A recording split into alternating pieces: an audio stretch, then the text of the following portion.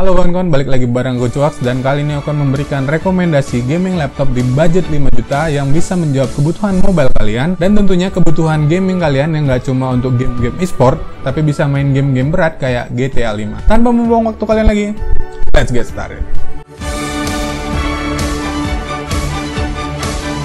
Di list pertama ada Acer Aspire E5 475G dengan spesifikasi Intel Core i3 6100 LCD 14 inch, 2 GB RAM DDR4, hard drive 500 GB, dan VGA NVIDIA GeForce GT 940 MX 2 GB yang sanggup menjalankan GTA 5 di setting normal.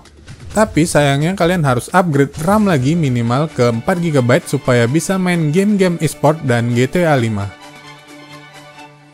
Selanjutnya, HP 15AF 109AX dengan spesifikasi AMD Quad-Core A8 7410 2,5 GHz, 4 GB RAM DDR3, 500 GB hard drive, AMD Radeon R5 M330 2 GB.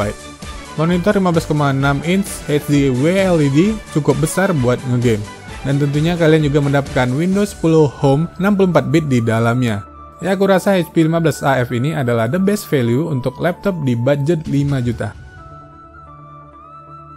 Next ada Asus A455LE dengan spesifikasi Intel Core i3 5005U 2 GHz, LCD 14 inch HD Color Sign, 4 GB RAM DDR3, 500 GB hard drive, dan Intel HD 5500 yang cukup bisa melibas GTA 5 di setting normal.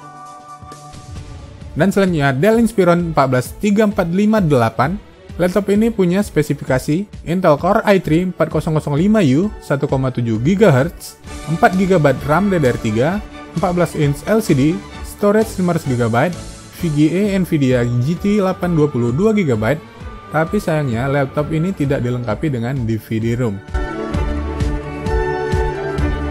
And the last, there is Lenovo IdeaPad 114 IBD yang punya spesifikasi Intel Core i3 5005U 2 GHz, RAM 4 GB DDR3, storage 500 GB, VGA NVIDIA GT 920 2 GB, display 14 inch wide LED, dan juga dilengkapi dengan Windows 10. Dan mungkin sekarang kalian sudah penasaran dengan harga dari masing-masing laptop tersebut. Ini dia harganya. Harga ini per tanggal video ini dibuat atau November 2016.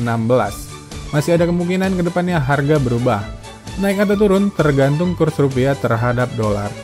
Ada nggak ya dari kalian yang sudah punya pengalaman dengan laptop-laptop tersebut? Kalau ada boleh dong share pengalaman kalian. Mungkin bisa jadi referensi yang berguna untuk kawan-kawan yang lain. Oke kawan-kawan itu dia tadi laptop dengan budget 5 juta yang bisa kalian pakai buat main game. Dan tentunya kalau kalian mau performa yang lebih maksimal lagi, tentunya kalian harus upgrade RAM ke 8 GB biar ngegame kalian makin lancar. Oke sampai di situ aja video ini. Kalau kalian suka jangan lupa like, share, komen, dan subscribe. Aku Juwax, thanks for watching. Bye bye.